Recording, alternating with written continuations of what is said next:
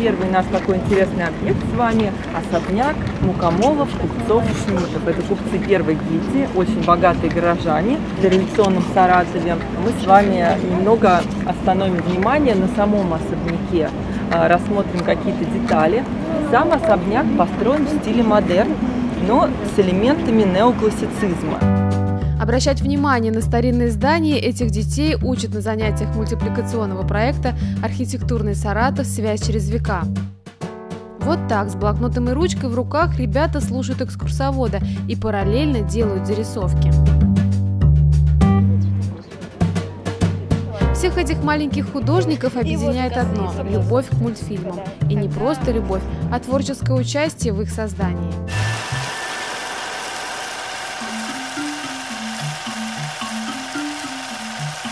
Идея создавать мультфильмы про наиболее важные для города памятники архитектуры пришла Елене Мизюк, маме учеников студии детской мультипликации. Я живу недалеко от дома князя Боротаева. Такое потрясающее архитектурное строение в таком э, состоянии упадка находится. Угу. Мы часто проходим там с детьми, я что-то им рассказываю про этот дом, но стараюсь так, чтобы это было э, ненавязчиво. Да, ненавязчиво, легко, чтобы они что-то запоминали.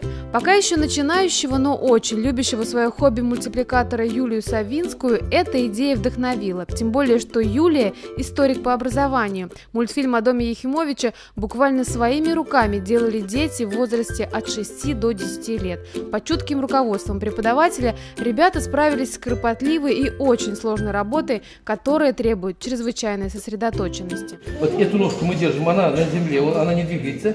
А эту ножку вот мы берем, значит, она уже, предположим, остальных промежуточными опускаем фазы. Движение, вот он поставил две ноги, вот, без ноги, да.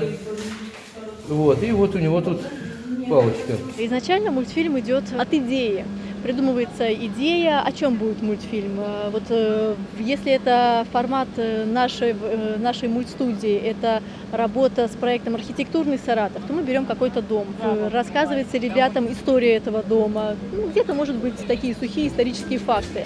Потом мы собираемся и устраиваем с ребятами мозговой штурм. А как вот из этих вот сухих фактов, что можно было бы сделать в формате мультфильма? И дальше мы делаем с ребятами что-то в виде такой раскадровки. После раскадровки переходим уже к э, выбору персонажа. Если это главные герои, идем где-то, может быть, э, от паспортов героев. Что это за человек, как он мог выглядеть вот в Ехимовиче, Алиса, да, то есть вот мы дали фотографию самого Ехимовича, седой мужчина с бородкой, она его вот как-то трансформировала, получился такой очень оригинальный мужчина там с трехдневной небритостью, такой современный Ехимович, очень даже миловидный. Ехимович изобрел уникальную систему пробетонного отопления. Я нарисовала огромного-огромного Ехимовича, потому что я очень люблю рисовать, и он что-то там бухтел. Ну, мне один раз показали картинку, а все остальное я рисовала. То есть ты не срисовывала, ты просто его увидела? Ну да. Изображение показали? Просто мужчина с бородой. Так и нарисовала. Съемки мультфильмов – это просветительский проект, в котором принимает участие региональное управление по охране объектов культурного наследия. Работа началась с выбора зданий для будущих картин. Выбрали мы э, два таких объекта. Это известный вам всем уже давно дом Ехимовича на Советской 5 и дом автогаража, федеральный объект, где мчащийся у нас там барельеф автомобиля. Э, когда мы приходили в студию, наши сотрудники к детям, приносили с собой альбомы, фотографии, исторические справки, мы это рассказывали детишкам, то есть они это слушали, причем искренне слушали, у них даже вопросы появлялись, они задавали эти вопросы, мы искали на них ответы, отвечали им. Ну и в результате вот то, что они впитали, мы с вами теперь видим плоды этого труда. А, помогите, спасите! Да, нужно повышать водительскую грамотность. В городе стало больше автомобилей, и количество автомобильных аварий, к сожалению, тоже увеличилось. Перед началом съемок с ребятами работали такие специалисты, как художник, экскурсовод, историк, краевед, архитектор и преподаватель по актерскому мастерству и сценической речи. Папа, что это за такой дом? Это был доходный дом.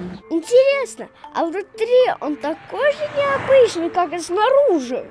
Ну да, этот дом не только очень красивый снаружи, но и необычный внутри. Это было не очень легко, но и не как-то супер сложно. Это, То есть нормально. ну да, это такой человек, который знает ответы на все вопросы. Я, я делал тетеньку и я делал трубы для дома. Тру- трубы. Такие тоненькие. Да. Вот. Брать их, брать и так весь дом обклеивать.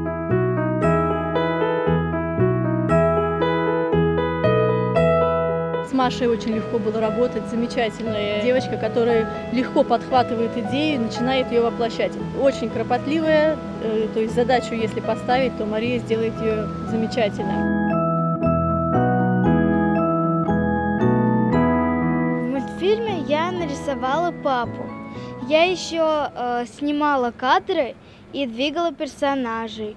А какой у тебя папа получился? Ты Папа получился такой майки цвета хаки, э, в джинсах, кроссовка коричневого цвета с челочкой и с усами.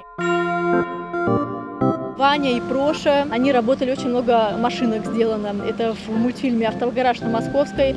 Очень много машинок сделано Ваней и Прошей. Я делал старинные автомобили. откуда ты знаешь, как они выглядят? Я смотрел по компьютеру. То есть ты сначала в интернете Мгм. искал, как они выглядят? Ага, а потом срисовывал. Это проект, э, который очень развивает детей, потому что это мульттехнологии, это ноу-хау в образовании, которое позволяет детям учиться без запомина... зап- ну, какого-то запоминания, зубрежки. То есть это то, что проходит через руки. Такие э, современные хендмейд технологии в образовании, это оно, это мульттерапия. Я уверена, что это нужно городу. Почти тысячу просмотров на Ютубе. Отличный результат для юных дебютантов. Осенью их работы представят на конкурсе в Саратове. У нас же в октябре проходит конкурс детского рисунка, на базе которого вот мы э, договорились с руководителем федерального агентства э, Морозовой Оксаной, э, что в рамках этого конкурса будет еще он расширен вот детской мультипликацией. И, соответственно, в рамках этого конкурса мы покажем уже эти мультфильмы. Работами саратовских ребят заинтересовались и в Министерстве культуры Российской Федерации. Но здесь и сейчас им нужно внимание и помощь. Помощь финансовая, чтобы оплачивать арендную плату и покупать материал. Все это нужно, чтобы снимать не просто мультфильмы, а в очередной раз обратить внимание саратовцев на здания, мимо которых они ходят каждый день и порой не знают о них ничего. Thank